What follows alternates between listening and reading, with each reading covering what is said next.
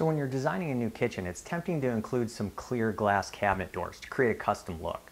But once you start using the kitchen, you realize all those plastic cups you got at the ball games don't make the best impression. So what are your options for obscuring that glass? Well, there's the glass privacy films out there that come on a roll. Now, these can be messy and can cost quite a bit. My favorite option is to use plastic lighting panels. Now, these are the panels used in suspended ceilings in basements and in commercial applications.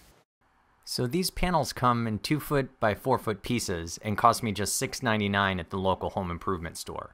Now I don't have a kitchen cabinet to show you, so instead we'll use this piece of furniture here.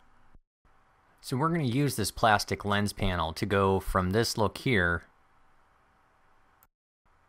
to this look here.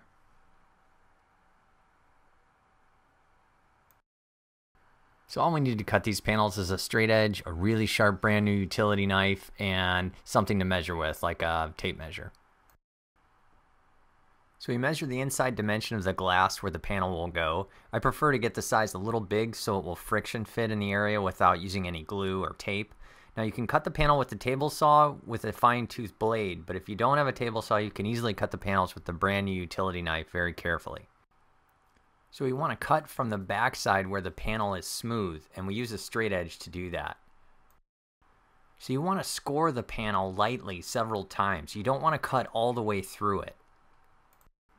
So then we flip the panel over so the rough side is up and we hold the straight edge at the cut line that we scored and carefully snap the plastic along that cut line. Now you want to you may want to practice on a small piece just to get good at it before you get going, but doing this really isn't that tough. You just want to, you know, the best thing to do is to pull on the piece that you're not keeping. So the piece that you need and you're using, leave that on the on the table or on the floor as you pull up with the straight edge holding it down. So for just 350 per door, this option for obscuring your glass cabinets really can make a big difference in your kitchen or bathroom.